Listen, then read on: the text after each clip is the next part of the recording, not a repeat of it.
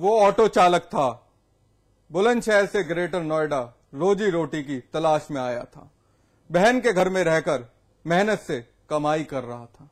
लेकिन उस दिन युवक के साथ वो हुआ जिसकी कल्पना ना तो उसने की होगी और ना ही उसके घर वालों ने। जी हाँ, वो हो गया उस अज्ञात बदमाश का शिकार जिसने उसकी कर दी हत्या।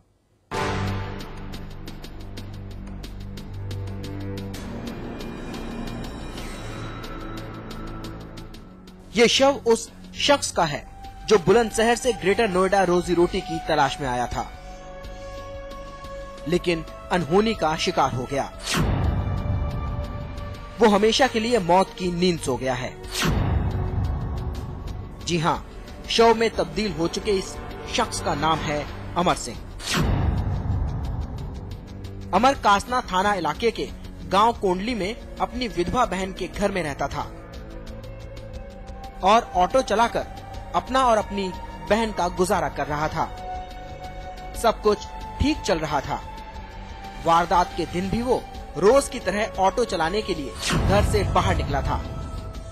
लेकिन फिर वापस नहीं लौटा। उसका शव ग्रेटर नोएडा के एक खेत में मिला। मेरे पास फ़ोन गया कि ऐसे ऐसे जिनको कोई कल बुला के ले गया अच्छा। मोमना के। अच्छा। वो ले गए थे। उन्होंने ले जाने के बाद में इस- इससे मारपीट हुई है। अच्छा। इसके शरीर पे चोट है।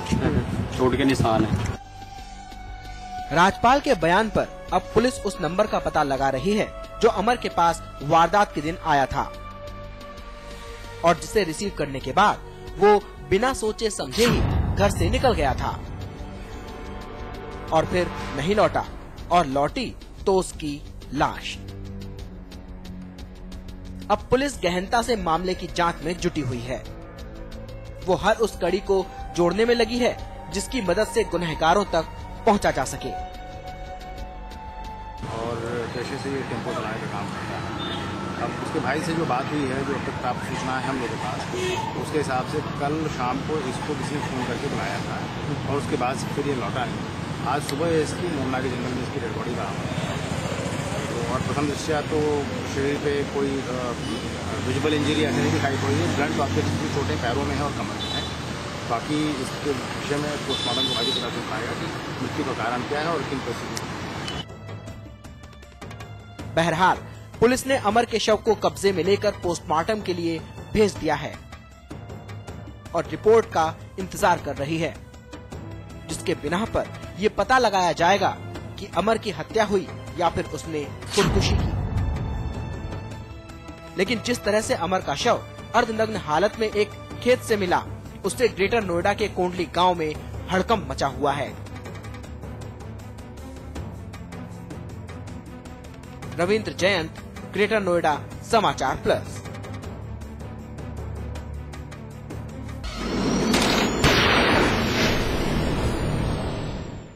कल आपको एनकाउंटर में हमने दिखाया था कैसे बदमाशों ने दिन दहाड़े एक घर में घुसकर सात महीने के बच्चे को अगवा कर लिया था। लेकिन अब मासूम वापस लौट आया है। जी हाँ, वो घर लौट आया है। लेकिन ये वापसी यूपी की लापरवाह पुलिस की वजह से संभव नहीं हुई, बल्कि खुदा की रहमत ने उसे बचाया, जिसे बदमाशों ने कब्र में ज़िंदा दफन कर दिया था।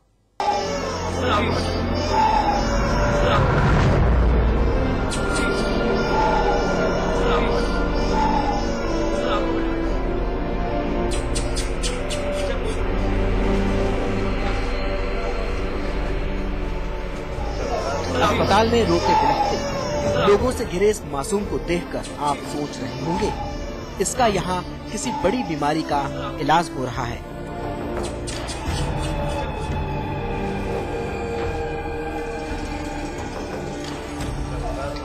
लेकिन सच कल्पनाओं से कहीं परे है। जी हाँ ये बच्चा बिल्कुल ठीक है। और अपनी ज़िंदगी से लड़कर यहाँ चैन की साँसें ले रहा है। दरअसल, सात महीने के इस बच्चे को मेरठ से दो नकापोश बदमाशों ने अपहरण कर लिया था। तब से इसकी खोजबीन जारी थी। पर वो कहते हैं ना कि फानूस बनकर जिसकी हिफाजत खुदा करे, वो क्षमा क्या बुझे जिसे रोशन खुदा करे। ऐसा ही करिश्मा इस मासूम के साथ हुआ। और कब्रिस्तान में फातिया पढ़ने पहुँचे दो लोगों को ये बच्चा कब्र में ज़िंदा मिला। जिन्हें ये बच्चा मिला, उनका कहना है कि ये बच्चा कब्र में मिट्टी से ढका था। और इसके रोने की आवाज़ सुनकर इन्होंने उसे कब्र से निकाल लिया। बाद में पुलिस को बुलाकर इसे अस्पताल ले जाया गया और इसके घर वालों को बुलाया गया। नराले में हमारा कब्रिस्तान है। हम अपने वाली साहब की कब्र पर फातिया पढ़ थे मेरे छोटे भाई ने आवाज़ सुनी। मैंने जो देखा, मैंने की आ रही तो इंसान के बच्चे की आवाज़ है। उसे उल्टा उल्टा लेटा हुआ था कवर में अंदर। हमने उसे निकाला और इसे पानी पिलाया। बच्चे को पाकर इसके घर वाले बेहद खुश हैं। कोई इसे कुदरत का करिश्मा मान रहा है तो कोई पुलिस प्रशासन की मुस्तैदी मानकर उनका शुक्रिया अदा कर रहा है। आज मैं सिर्फ़ इतना कहना चाहता हूँ कि प्रशासन ने वो मदद करी है कि मैं उसका शुक्र भी अदा नहीं कर सकता। आज बस खुशी के मारे कुछ मैं कह नहीं सकता, अल्फाज नहीं है मेरे पास जिसे मैं अदा कर सकूँ। वहीं पुलिस के अधिकारियों ने सर्विलांस के ज़रिए बच्चे का अपहरण करने वाले एक युवक को गिरफ़्तार कर लिया है। और पूछताछ के बाद पता चला है कि पाँच लाख की फिरौती के लिए बच्चे का अपहरण किया गया था। वहीं पुलिस का कहना है कि अपहरण करने वाला पड़ोसी था। इन लोगों ने पहले बाइक पर जो आए थे ये लोग, दोनों, एक एक तो मुँह बंद कर रखा था, एक जो है मुँह खोल कर रखा। फिर ये दोनों घर के अंदर प्रवेश किया। प्रवेश करने के बाद फिर जब ये नौकरानी का हाथ में जब बच्चे को देखा, इन्होंने सोचा फिर आसानी से काम हो जाएगा, फिर उसमें तुरंत चाकू और ये दिखा के बच्चे को अपहरण किया। इस घटना से तो ये साफ़ है कि इस दुनिया से अलग भी एक दुनिया है, जहाँ कोई बैठकर हमारे भविष्य की किताब लिख रहा है। और हमारे साथ कब क्या होगा, इसका फैसला पहले ही हो जाता है। अब्दुल कादिर, मेरठ, समाचार प्लस।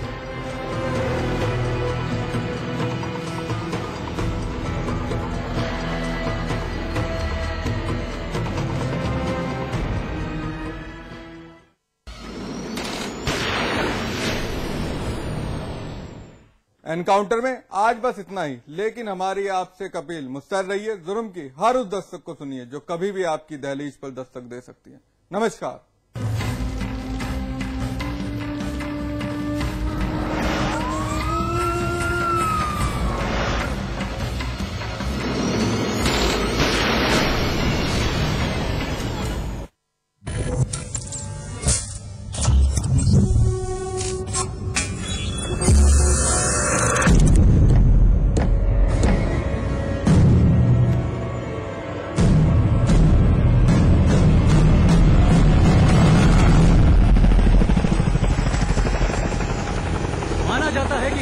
कि सर्कल एलियंस के आने की निशानी है। हमने देखा उड़न कटोला।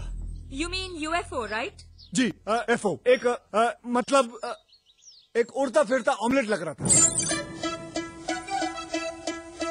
तुम्हारे गाँव का नाम क्या है? पगलापुर मैं यहाँ हमारे गाँव के पानी की समस्या लेकर आया हूँ। हम यहाँ समस्या सुनने बैठे हैं। आपका गाँव शायद एमपी में होगा। आपका गाँव राजस्थान में होगा। हमारा गाँव पगलापुर हिंदुस्तान के नक्शे पे है ही नहीं। नक्शे में नहीं है? कहा गया? पगलापुर को गुमनामी से निकालकर नक्शे पर डालना ही होगा लेकिन ऐसे नहीं दिमाग लड़ाकर। You mean, Agastya? दिमाग लड़ाकर। By fighting brain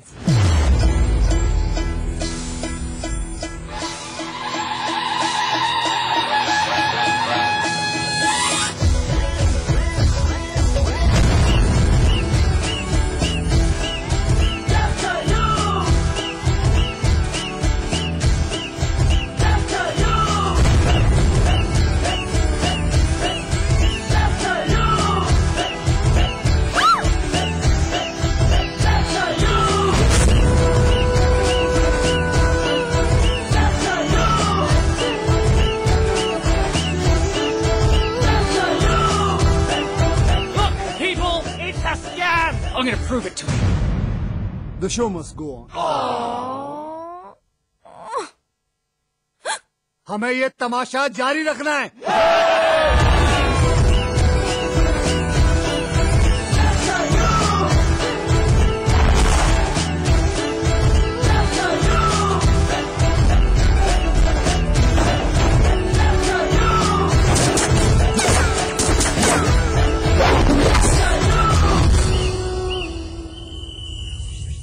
तैयार है ना? जा जा जा जा।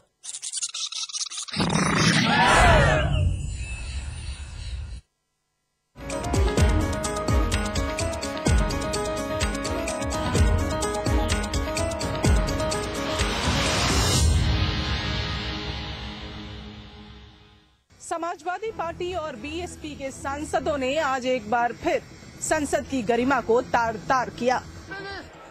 दरअसल राज्यसभा में प्रमोशन में आरक्षण का विधेयक पेश किया जा रहा था। इसी दौरान सपा के राज्यसभा सांसद नरेश अग्रवाल वेल की तरफ़ जाने लगे। तो बीएसपी के सांसद अवतार सिंह करीमपुरी ने उन्हें रोका और फिर दोनों के बीच जमकर धक्का मुक्की हुई।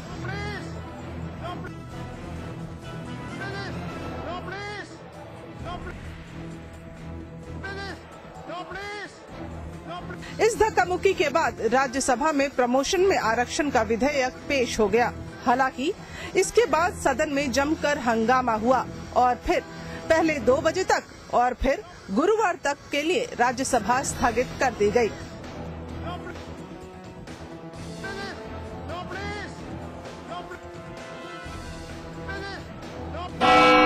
उधर मुलायम सिंह ने इस बिल को असंवैधानिक बताया है और जनता के बीच जाकर जमकर विरोध करने की बात कही है का पूरा विधेयक पास करना असंवैधानिक है।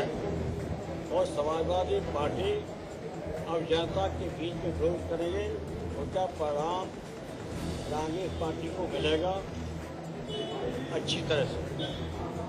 क्योंकि प्रमोशन में जूनियर को जूनियर को सीनियर सीनियर को जूनियर बनाने का ये कोई मामूल बात है ये तो मज़ाक कर रखा है। सरकार चला रहे मज़ाक कर रहे हैं। जूनियर को सीनियर और सीनियर को जूनियर कर रहे हैं। इनको कौन बर्दाश्त करेगा एक आध कर लीजिए शोरगुल में कर लिया। किसी को पता भी नहीं चला और कर लिया। ये तो संवैधानिक है। वहीं बीएसपी सुप्रीमो मायावती ने एनडीए और यूपीए पर निशाना साधा है। उन्होंने कहा है कि ये दोनों इसके जिम्मेदार हैं। इसके साथ ही उन्होंने ये भी कहा कि वे इस सत्र में ये बिल पास कराना चाहती हैं। मैं आपको ये बताना चाह रही हूँ कि ये एस सी के प्रमोशन में रिजर्वेशन का जो मामला, जो लटका है, ये इंट्रोड्यूस तो हो गया, लेकिन अभी पास नहीं हुआ है। तो ये जो अभी लटका हुआ है, अभी पास नहीं हुआ है तो इसके लिए सही मायने में जिम्मेवार।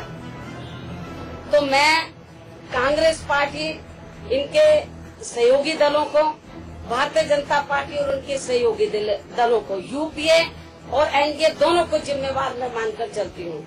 क्योंकि आप लोगों को मैंने कल भी बताया था कि ये मामला हमने पिछले सत्र में तो 30 अप्रैल को उठाया था, तीन मई को इसके ऊपर चर्चा हुई थी। लेकिन कांग्रेस पार्टी उनके जो घटक दल हैं तो मैं कांग्रेस पार्टी की मजबूरी पिछले सत्र में क्योंकि वो क्यों नहीं इसको लाए? उनका राजनीतिक स्वार्थ था।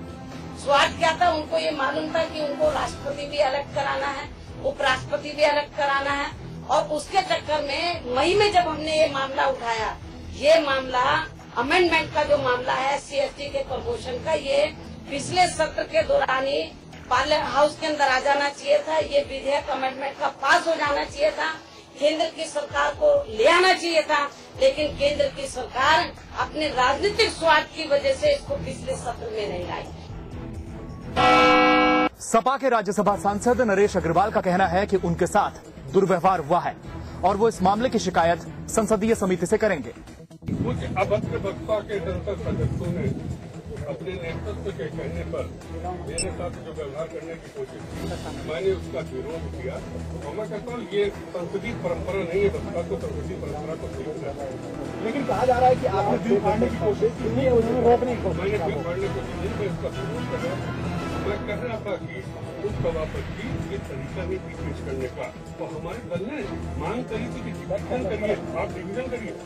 बिना डिवीज़न के आप बिल्कुल विरोध नहीं कर सकते उन्होंने डिवीज़न को भी नहीं स्वीकार किया।